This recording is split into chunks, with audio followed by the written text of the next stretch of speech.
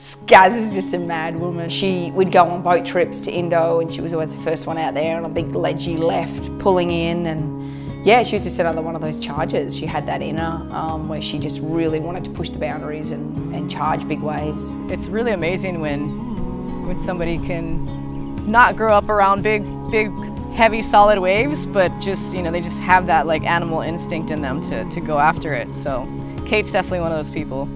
She has such a like feminine look to her. She didn't look like that type of woman that would just get on a board and drop in at Pipeline. She just just threw it all on the line and threw herself over the ledge and it was captivating to watch, shall we say. They won't think that Skaz is going to, like, you know, come out and get a couple waves. They'll just be going, oh, it's all right, don't worry about Skaz.